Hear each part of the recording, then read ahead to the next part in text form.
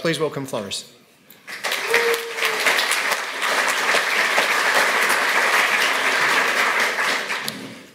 Um, good afternoon. Um, so, yeah, uh, advanced fixtures in py.test. So, um, py.test fixtures are, are sort of a, a, quite unique and powerful feature in um, uh, in, in py.test, and, and they allow you, they basically allow, allow you to, to create your fixtures using dependency injection, uh, and it kind of creates a kind of isolated and, and, and quite composable, as um, hopefully you'll see. Um, so I'll, I'll, try and go, go through like, um, so I've been uh, using PyDotest uh, and been contributing for it for a few years now, and so basically on, based on like that experience sort of, um, I'll try and build up some, some more of the um, interesting things um, to, to build a big test that we find useful building a big test suite. Um, I'm going to assume some knowledge about py.test itself uh, and basic, uh, and, and you got the basic idea of, of, how fixtures work, so how the dependency injection sort of works. Um, but uh, a very quick reminder um, of that. Um, so, so a fixture is, is, basically, so, so any test function uh, can request a fixture by, by just taking a parameter, a named parameter, and the named parameter um, will then be looked up by, um, to a function that's decorated as fixture uh, marker, um, which is just a function that returns a value, and that value is then in injected by py.test into your, in your test function. You can create fixtures on different levels in, in your um, uh, files, so if you do it in a class, it will only be visible to um, members of the class. Um, so that's sort of very quickly the basics. Um, so the first thing to, to start um, sort of extend, extending that is um, caching um, of your fixtures. Um, this sort of, um, so, so, basically by, by, by, simply giving another keyword argument to, to this PyTest fixture decorator, uh, you, you, can change the scope, the, the lifetime of, of when, how long that, that fixture lives. normally it's being, uh, if, if you don't provide an explicit scope, it will, it will just be torn, uh, torn down straight away af after the test function has run. Um, but you, you, can change the scopes into like session scope. Um, you also got like module scope and class scope, as well as function scope. And, and then and that basically means that you, you'll only um, call that function once for the scope. So in, the, in this example, we, we got um, two differently scoped ones, one function scoped, um, one session scope. And um, uh, we got two tests using both of these. This is fairly contrived, I guess. But if you run py.test um, in the output, I'm using minus S here, uh, which kind of stops the, um, um, make sure that the print statements I put in my, in my test code actually uh, get shown up, because normally py.test will ca um, capture that and only show it in case of failures. But with minus S, I, I, you can clearly see the order that things happen here. So, so the session setup happens first, and then uh, the function setup happens, then the dot, um, which is basically the test that's been run. Uh, and then the function um, the teardown kind of happens, and, and then that happens again. And, and so, so you can see how, how, the caching sort of works there. So if you've got expensive uh, fixtures that you don't want to recreate the whole time, like uh, populate a database with a schema or something, or create web browsers or, or those sort of things, you, you, you, this is a very common thing to start kind of using. Um, yeah, and you have sort of available scopes there. Um, next on, you can sort of, um, fi fixtures can just, uh, can be used in, in other fixtures as well, not just in test functions. And that makes it really composable because it, it, it means you, you can have, have um, so, so in this example for, um, you know, creating a, a, database connection fixture, and that might be used in some tests directly, um, but then uh, for example, if this was a functional test and uh, one functional test needed, needed um, uh, a, table to be there or something, I, I can just build on, on, those existing fixtures and, and, you can puzzle them together in, that manner. Um, one of the things here, the um, request um, fixture that's being um, asked there is, is uh, it's the way to add finalizers to, to, to, places, so you've probably already seen that, but it's essentially no more than just another fixture in py.test. It's just a built-in one that's provided. So, so that kind of happen, happens uh, quite seamlessly.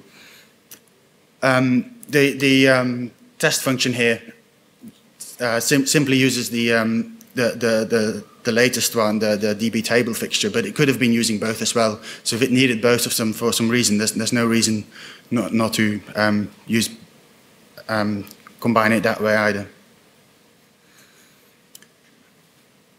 Um, another thing you can do in, in uh, fixtures is, so, so normally when, when you run tests, you can, in PyTest, you can mark tests as, oh, I want to skip this test or something for, for whatever reason. But you can also do this based on, uh, trigger this from inside a fixture, for um, basically. So, and that if, if you do that, it means that any test that will be requested, will be using that fixture, will automatically be skipped in, instead of, um, so you can make this depend on something else. Um, so in this, this, this, example is something that we use quite commonly when we connect to a remote service sort of thing. Um, so, so, basically, first try if the developers are run running it on, on, their, on their own local host. If not, see if they're in the office, uh, try, try connecting to the server on that network sort of thing. But, you know, if neither is there, then whatever, um, let, us go and skip it. And uh, combining this with, with uh, the session scope, for example, means that you don't keep doing that again and again because that might be slow operation or something.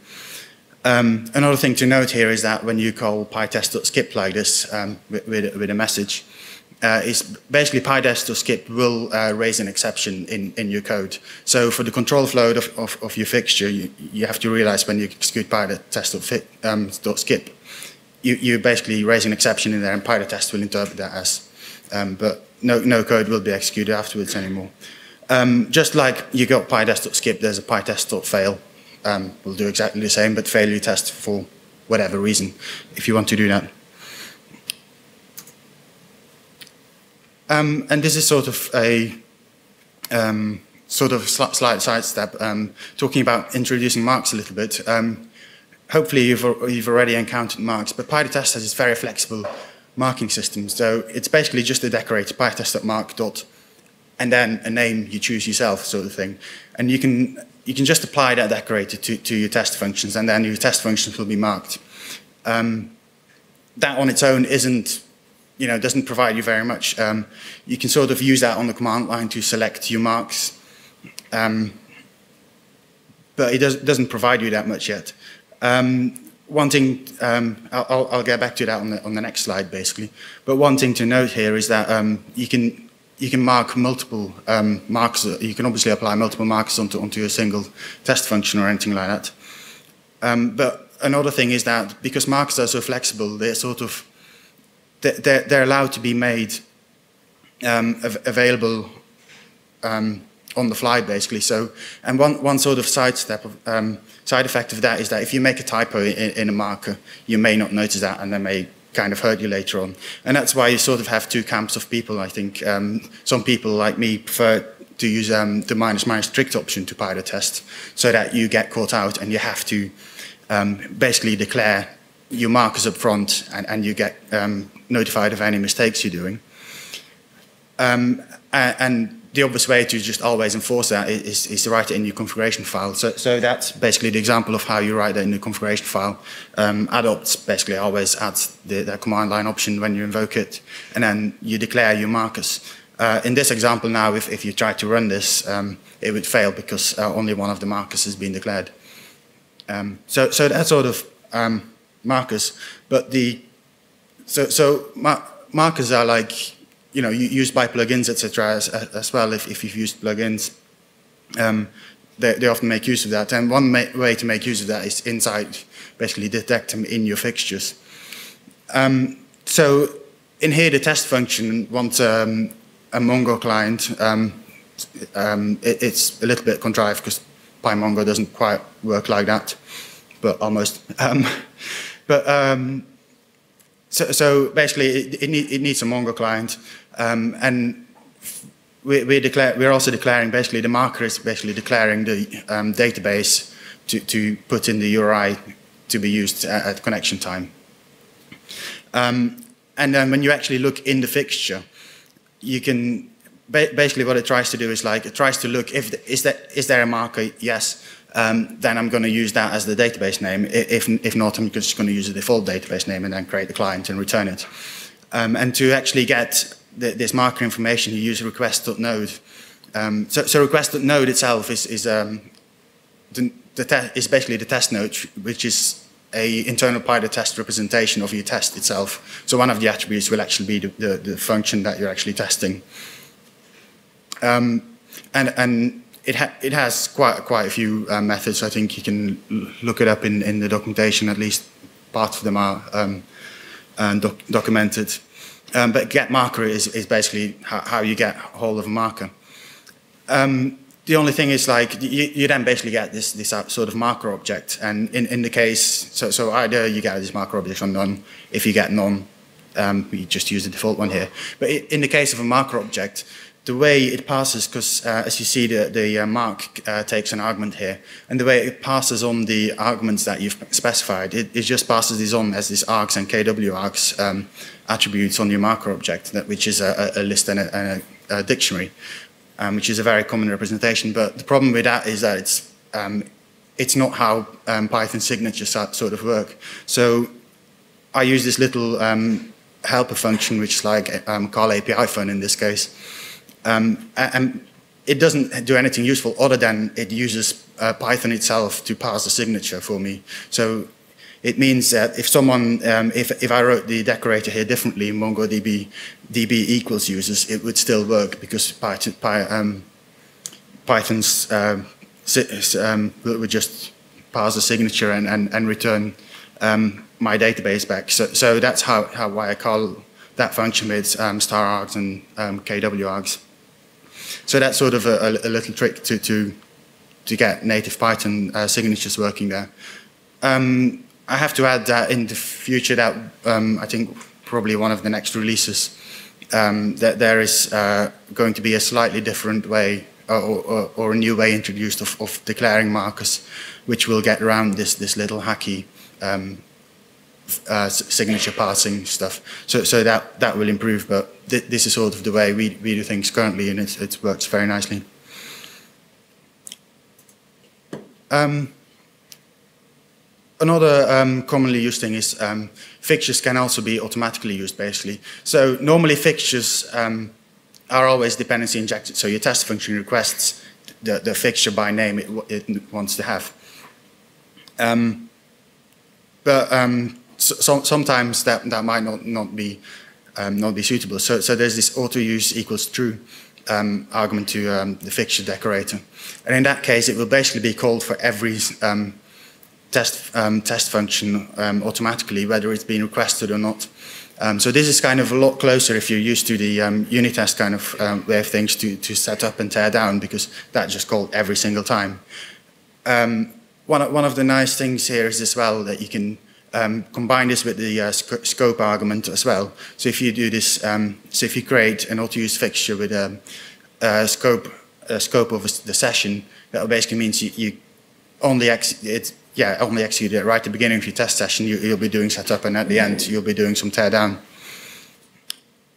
Um, the auto-use fixtures, um, in, in this case, I sort of use it with an, um, with an underscore, so sort of indicating that you know I don't expect it to be used immediately or directly. Um, but there's nothing stopping you from um, there's nothing stopping you from returning a value as well and explicitly requesting it. So if someone explicitly requests it, you can just mix um, mix those two together as well.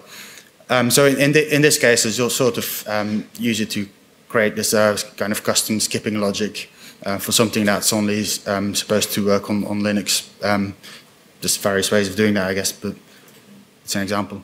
Um, then parameterizing fixtures is sort of another very um, powerful um, feature, feature, that you can do with um, fixtures. Um, so in this example, sort of, we have a test function, the, the, first test function there, test uh, TX, TXN, which, which just uses um, basically a URI to, to connect to a database and say, um, the, the problem here is, you know, I want to ensure that whatever this works with PostgreSQL, Oracle, and, and SQLite, for example, at the same time. Um, so instead of having to write three tests or, or, write tests with different fixtures or something, you, you can basically parameterize your, your, your fixture itself. So um, by parameterizing this fixture, um, PyTest will, will create we'll, we'll call my test functions three times, once with each, with each parameter. And the way you know which parameters, so, so the, um, the arguments in the, in the list to um, the params keyword in your fixture decorator can, can be anything. It's, it's up to you. So you can use direct values there if you want to. Or um, in this case, I use sim simple strings, which then I'll probably use later with an if statement or something. Um, but you get access to the parameter being passed in by this requests.param um, attribute on, on, on the requests fixture. And that's how you access them. Another um, sort of building on top of that is, is if you have want multiple um, fixtures with, with, parameters, you can combine them, which is basically what the um, last function does. Um, so, so in this case, because both, both, both fixtures are parameterized, PyTest will, will basically call the last function six times because it requests both of these, and it, you will get each combination tested automatically. So in this case, sort of the, the example um, suggests that I want to test the connection of both IPv4 and 6. Um, but you automatically get all combinations of um, of, of your fixtures. Um, build, so, sort of slightly building on top of that is so, sort of um, you, you may you can optionally sort of mark your parameters again in in, in your um, parameterized list. So you can uh, if, if, there is a fixture. So in this example, I, I, I, don't assume that every developer has has their Oracle um, DB API installed. Um, so, so I just, you know, try and pull Oracle if, if not. Um, and I sort of introduced two things at once here. So I sort of, um, so we've already seen, seen the markers basically. So this is PyTest marks skipif is a built-in marker that PyTest provides. Um, um, but instead of kind of using it directly on something, I just assign it to a variable now. And that's just to make my line a bit shorter later on, basically. Or maybe I want to use it more than once or something like that. So you can just assign your marker to a variable and, and now you have that marker object there, which you can use later on. Uh, in this case, I apply it basically on, because it, um, my, my, parameter is, is not, not a function, so I can't really use a decorator here, so I just manually apply that on, onto my parameter. Um, and, and it means that if, if I don't have Oracle installed here, um, despite that the test function should be parameterized, on, only one version of them will be run and the second will be skipped. Um, this is sort of an example um, taken from, uh, well, roughly from an early version of the PyTest Django plugin, but it shows kind of how you can see, ba basically the, the thing here is the request.fixturenames um, part of, of the fixtures, and, and it allows you to see all the other fixtures that are being requested by, by the current test function. So you can, in this case, I, I'm, I'm just stopping um, two, two fixtures that are, are, mutually exclusive being used at the same time by simply calling pytest or fail on um, if, if, I detect that case. Um, but, but you can sort of peek in, into, into what the test function is asking and sort of ha have, a, have a look at uh, the other fixtures around, um, which sometimes um, could be a useful thing. Um, then sort of a very, um, uh, another sort of step aside, I guess. Um, you've probably, if you've been using PyTest, um, see, seen this conftest.py files, but it, um, so, so this is sort of typical um, directory like you'll, you'll get. And at, at a simple level, conftest.py, so, so you, can declare your fixtures in there and then you'll see them in their entire directory, basically.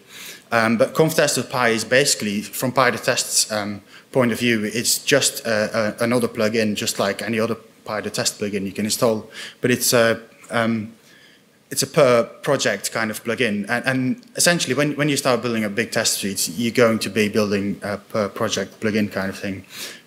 Uh, the plugins work with this um, with this hook system. So basically, you, in your plugin, you, you define a function with, with your hook. Uh, PyTest will at, at, certain times call these hooks then if, if you defined one. Um, these are just a few common ones. Um, there's a much longer list in the documentation. Um, and I'll, I'll be showing like basically the, the add option one here, which is sort of um, adding a new command line option. The um, parser object you get um, in that hook is basically just an argparse um, command line parser. Um, so you can just uh, use that documentation to, to add, add, your options here. And I'm here adding an option saying, um, so basically the idea here is that if, if my, for, for my script that invokes PyTest on my CI server, um, I'll, I'll, be just passing in that minus minus CI option so I know if my test suite is running on the CI server.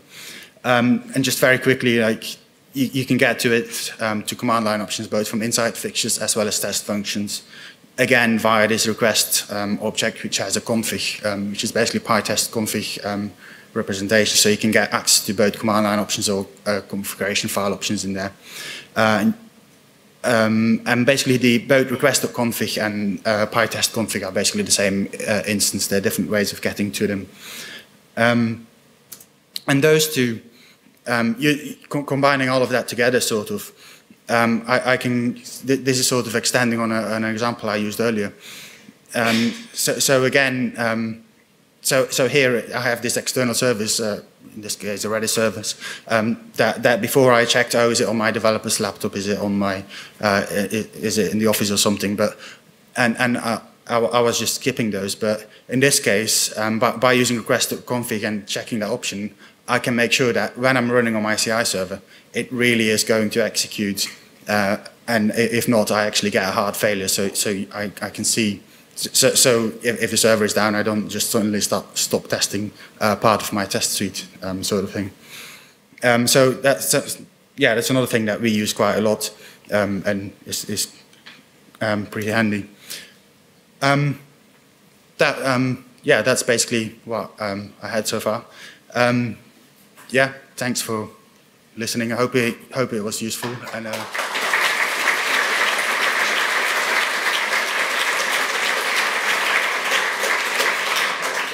we do definitely have some time for questions. Now, just a reminder, a question is a short, interrogative phrase designed to elicit information from the man up front, not a statement. If you like to make statements or have discussions, we have them afterwards. Uh, you showed that we uh, can look at what other fixture names are used in uh, PyTest. Uh, is there also a way to get to the value of that fixture then?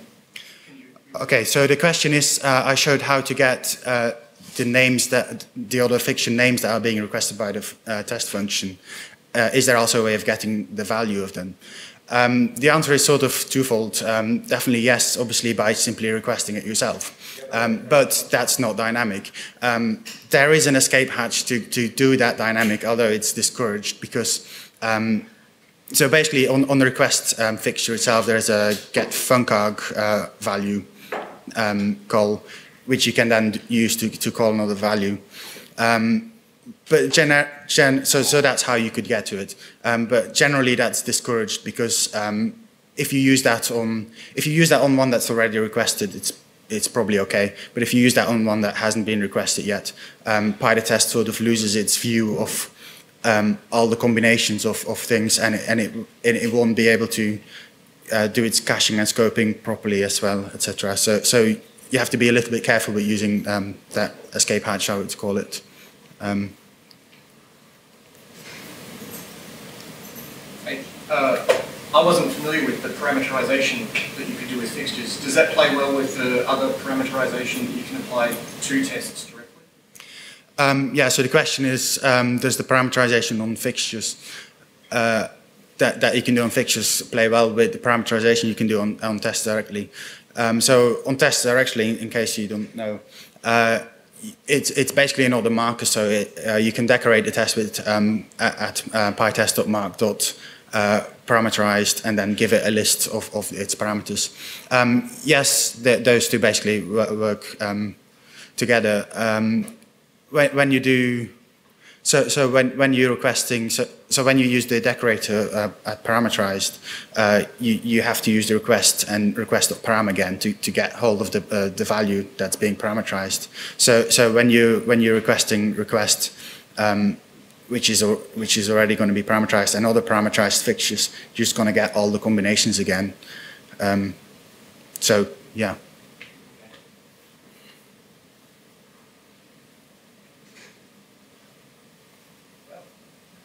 Well, Story.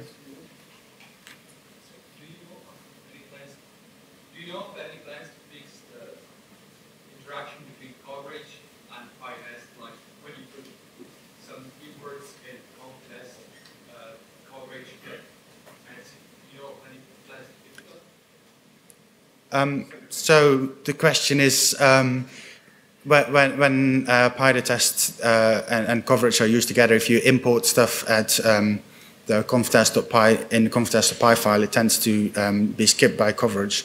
Um, and someone is nodding yes. Uh, Uh, the problem is uh, the plugin has that pro- uh, problem with the uh, coverage plugin. Uh, what I'm uh, just doing is I use the coverage script to run PyTest, and then uh, there is no problem uh, at the import level. Because uh, the problem is that uh, if you use something in a fixture, then that's not in coverage when you use the plugin. yeah. So so um, so. Uh, Yeah, well- well, the- So, so, so yeah, the, the, plug, the plugging itself ki- kind of ca- can't catch that all, um, as, as well. Um, I think the new The- PyTest coverage plugin actually fixes this and it catches al- also if you have something in common. Okay, so the new the new Pi Just release the coverage plugin should be fixed. fixes this, yeah. Okay, let's try again. So it should just work then, basically. Nice.